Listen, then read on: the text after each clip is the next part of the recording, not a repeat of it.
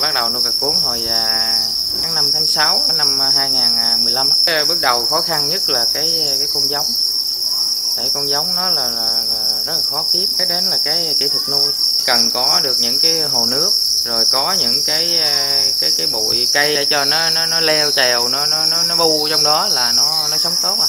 Thường thì cái con ờ, cà cuốn này mình nuôi từ khi nó mới ờ, mới nở ra đến khi mà à, mình thu hoạch được á, là 45 ngày. Thì nó thường nó nằm ở mấy dưới cái những cái bụi lục bình nè để cho nó leo trèo nè. Mình có thể lấy cái tay mình rà xuống mấy dưới để mình bắt.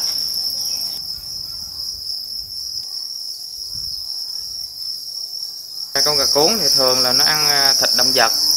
Tức là nó gồm có là cá nè, dế, cào cào, châu chấu. Hiện giờ là mình giao đi cho các cái quán ăn thì nó cái giá là khoảng à, từ 35 đến 40 ngàn một con. Hiện giờ thì có khoảng à, khoảng 5 ngàn con. Người ta có thể lấy tinh dầu ra rồi người ta có thể làm ra các món ăn. Nó còn tùy theo cái cái nhu cầu của từng nơi nữa.